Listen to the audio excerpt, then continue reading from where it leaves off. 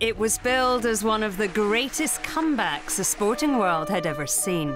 But for the team on the wrong side of victory, the humiliating defeat at the 2013 America's Cup was almost the end of the road. 8 1 up. Who the hell, how the hell can you lose the America's Cup at 8 1?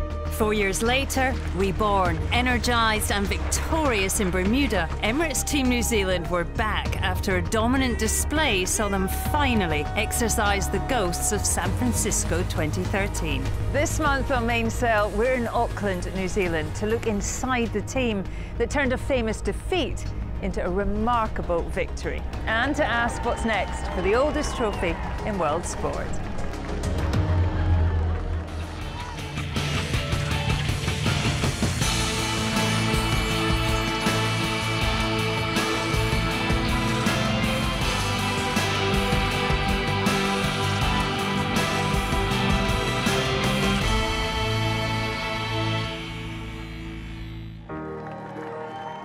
This month on Mainsail, we return to New Zealand to tell a very different story. After 2013's bitter defeat, Emirates Team New Zealand's win last year was even more special, and the entire nation was behind them as they returned home.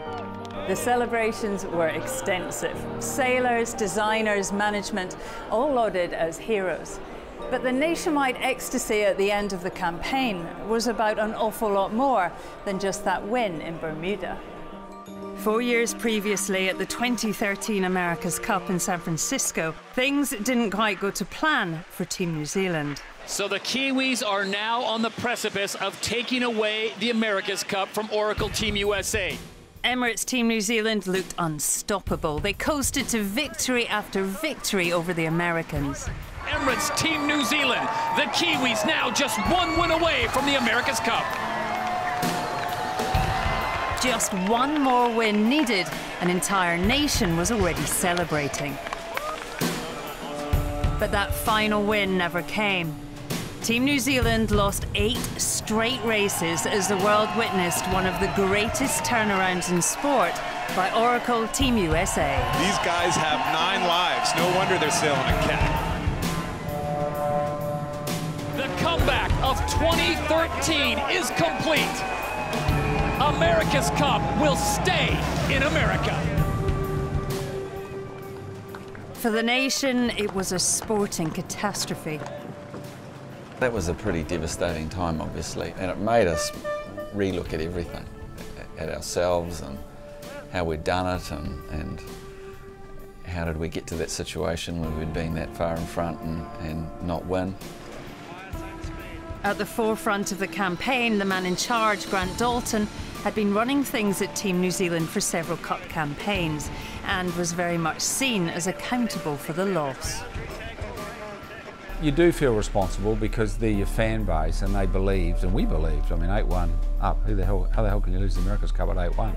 It was the aftermath that went on for at least a year, probably more, where it just did not stop. It was just a relentless attack of the media. We kept getting ripped from the outside um, everywhere you went, everybody you talked to, every time you picked up a newspaper. Twice before in its long history, the America's Cup has been won by a team from New Zealand. To the country, it's a trophy of vast significance. Missing out on winning it in 2013 was a bitter blow. Team New Zealand were very close to shutting up shop. Uh, their relationship with the government of the time was not good, and getting funding from elsewhere was a serious, serious challenge. Grant Dalton faced a lot of challenges and hurdles, uh, just from funding, keeping a team together, trying to get the public support and goodwill across New Zealand, and that was easier said than done. After that defeat, the team was in turmoil. The public reaction was unforgiving. The burden of loss even saw Dalton temporarily move to the UK. The expectation of the sporting public and the media in New Zealand can be relentless, a fact well known amongst the nation's sporting leaders. There's a massive expectation on rugby and rowing, if you like, and yachting, and that expectation is superb for those teams because there's no hiding. You know, you know the expectation. If you didn't have that expectation, I don't think we'd do nearly as well. Four years after suffering a humiliating World Cup exit at the hands of France, Graham Henry led his All Blacks into a home World Cup. Having built on the lessons of the past and 24 years without World Cup success, his team eventually delivered. We learnt that we needed to improve our mental skills to handle pressure, and that was a major focus going into 211 and on to 215 and so on. And so there has been a huge improvement in our ability to handle pressure. You never stop learning and you're always thinking, how can we do that better, you know? So the, the better never stop strategy, I'm sure is the same for the America's Cup boys as it is for the All Black boys. The All Blacks went on to win another World Cup in 2015. The New Zealand public, well, they were getting used to success. And as Bermuda approached, the pressure on Grant Dalton and his team was growing. In part two, we'll see how they dealt with the mounting expectation. But before then, here's a quick look at what else has been going on in the sailing world this month. Team AkzoNobel have won leg six of the Volvo Ocean Race from Hong Kong to Auckland. The Dutch team held off a charging fleet to claim the victory after a dramatic final 24 hours. They were just two minutes ahead of Team Scallywag. MAPFRE claimed third place with a huge effort on the final day that maintained their overall lead. Giovanni Soldini and the crew on board the Trimaran Maserati have broken the record from Hong Kong to London. They set a new unofficial time of 36 days, 2 hours, 37 minutes, and 2 seconds. And American maxi yacht Rambler 88 has won the Caribbean 600 trophy in Antigua, beating the record by nearly three hours.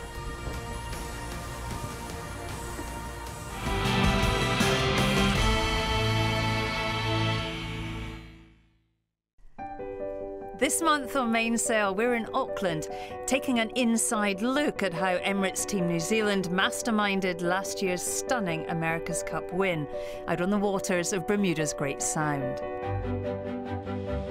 We've already seen how the team had to rebuild and start again if they had any hope of success at the next edition of the Cup.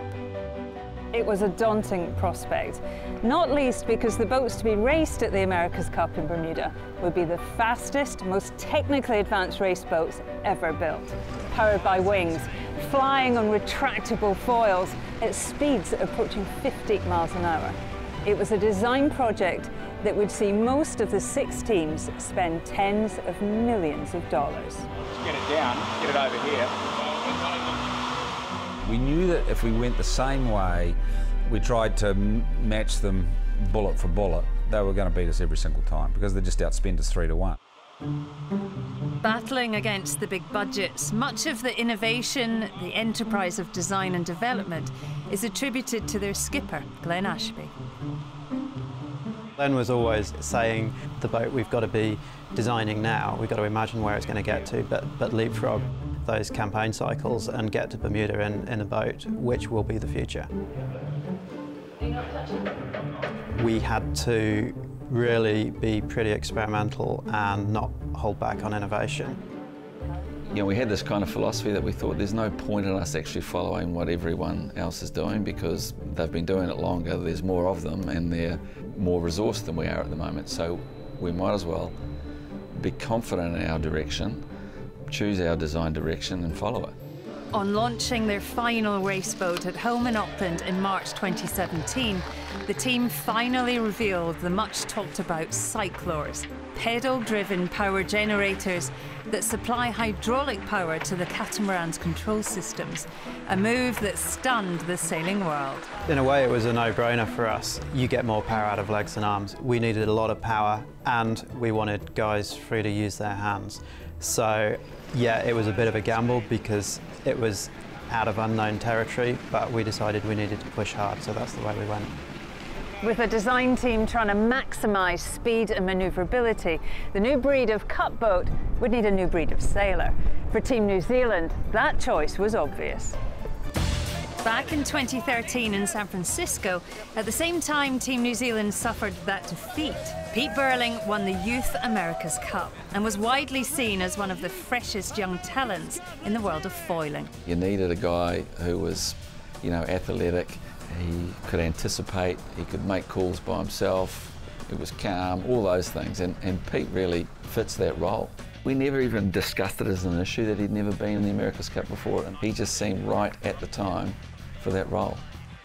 I was really lucky that, you know, you've been through the Olympic environment, seen a lot of pressure, and, you know, also in the previous games, you know, we went through with Blair as favourites and, you know, with the New Zealand team captains going to that, you know, we carried the New Zealand flag into the opening ceremony.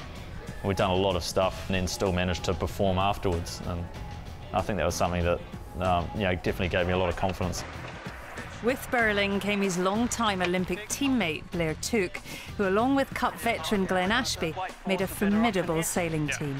Who ended up on the boat was a lot of young guys, a lot of us who had sailed together, grown up together, good mates from years ago and then got four young kids here and uh, you know the whole country's uh, hoping we can bring this thing back so that was that was pretty awesome.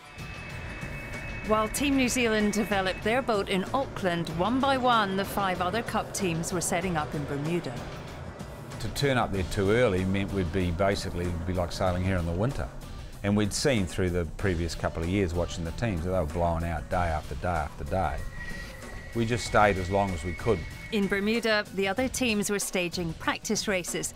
They even got together to sign a continuation contract for plans post the Cup. On the outside, Team New Zealand were very much alone, described in one quarter as the most ostracised team in Cup history. I could not abide by something which was just obviously jobs for, for boys. Um, and I don't feel any differently to this day. I felt personally that we didn't want to be part of the mates club. The fact that we managed to keep the, the cycling under wraps when 70 people in the team knew about it proves how, how close a group we were. Once in Bermuda, the team kept their preparations under wraps, careful not to show their hand before the campaign got underway. We weren't at our fastest until 24 hours, exactly 26 hours actually, before the first race of the America's Cup when we brought all our weaponry to bear. We, we, we gambled that we'd be just fast enough to get through. We brought it all on really late, but we'd tested it all in New Zealand before. Our learning curve was steep through those early rounds. Astounded me, like, you know, you could measure it daily almost. I used to sit up the front of our big chase boat with Kevin Shoebridge and he'd basically try and keep me calm. I was massively stressed, just all the way sort of through the campaign and just increasingly so. With those boats, and they're, they're so on the edge from a mechanical point of view, anything could fail at any time. The team were looking good. Throughout the opening rounds of sailing, they won all but two of their opening matches. Through to the semi-finals of the Challenger Series against Land Rover BAR, the team are looking fast, until one mistake jeopardised the entire campaign.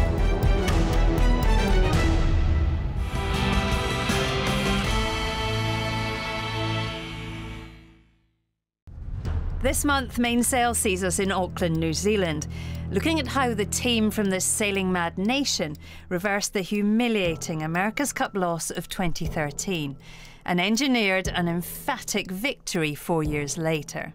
After a string of convincing race wins, Team New Zealand picked an off the pace looking British team as their opponents in the semi finals of the Challenger Series, and they looked confident.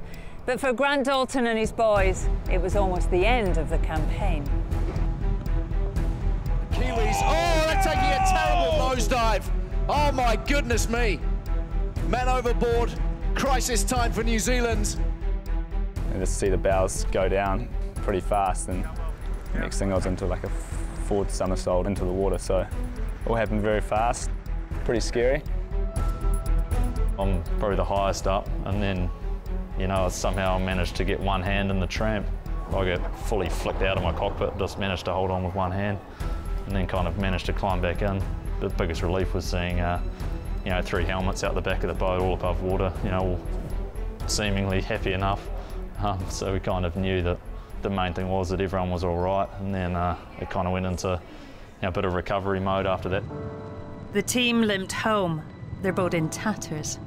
Delicate electronics and systems destroyed, and just 24 hours to sort out the mess. It was a blow, and I think it was only through the sort of sheer determination of everyone in the team to not only get the boat back on the water, but to keep that belief alive that it wasn't enough just to go sailing. We had to go sailing and be as close as possible to the boat as it was the moments before the capsize. After the tragedy of the loss the prior time when the America's Cup was fought, you can imagine in New Zealand everyone sitting on the side of the edge of their seats and then bang, the boat flips. Everyone, I think, just gut wrenching. I don't think people really got the significance of how serious that capsize was and how serious it could have been, either with human injury or the damage to the boat. I remember 2.30 in the morning, wandering through the yard. Every single person was in the yard working. And I went, whoa, this is something special we created here.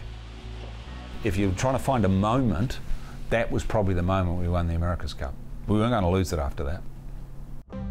Too much wind the following day, and racing was cancelled.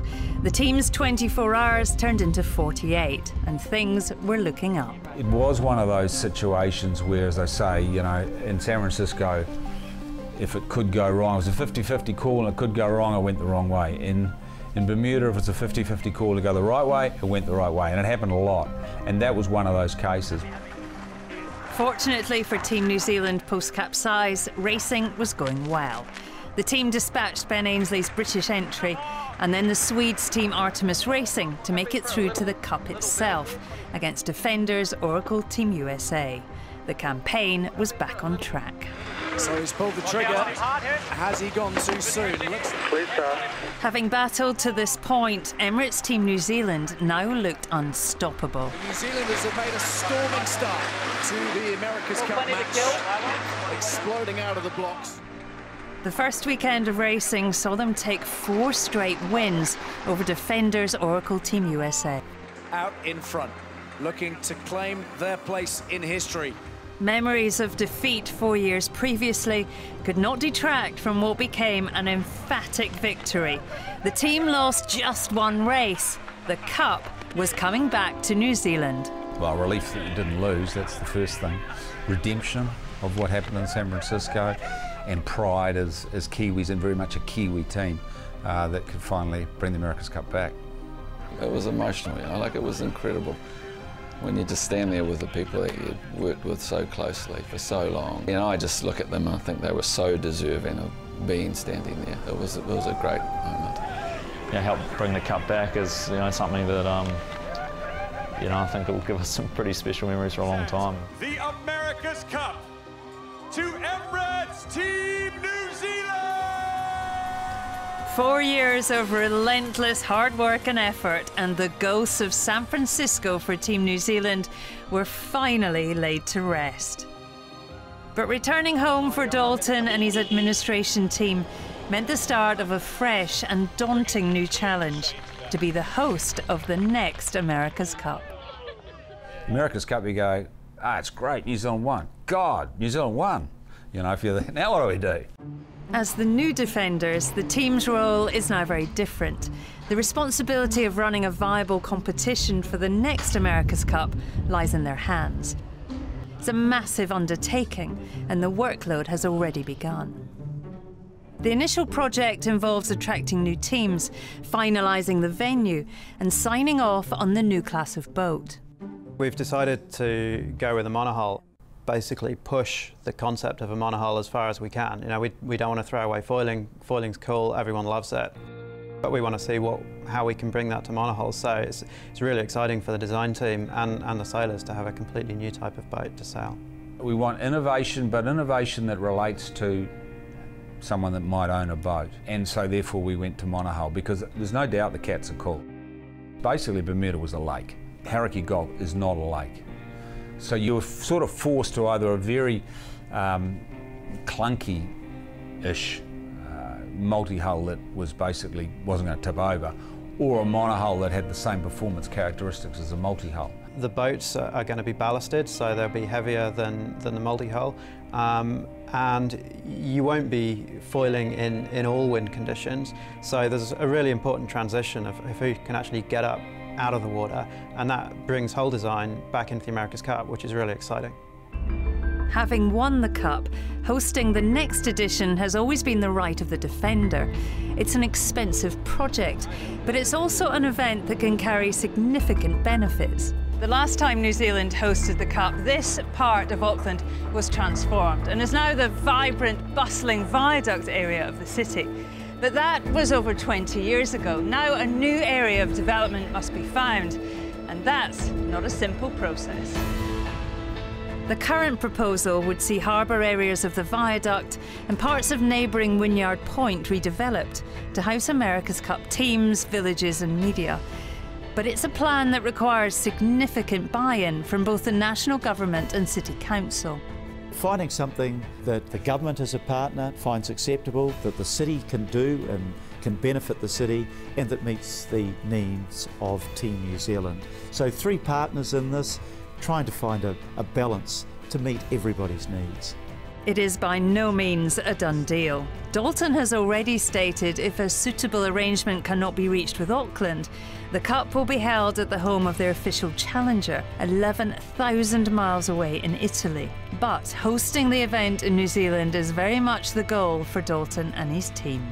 It's huge for this country because this country understands the America's Cup. The public understand what will happen in the summer of 20 and 21, they'll know how big it will be. There's something about national pride and people coming together around a sporting event that makes people feel good and makes them proud of their country, and that has intangible benefits that are very, very hard to value. It'll just be a great spectacle. The boats will be fast, amazing. It's just going to be bigger and better and amazing.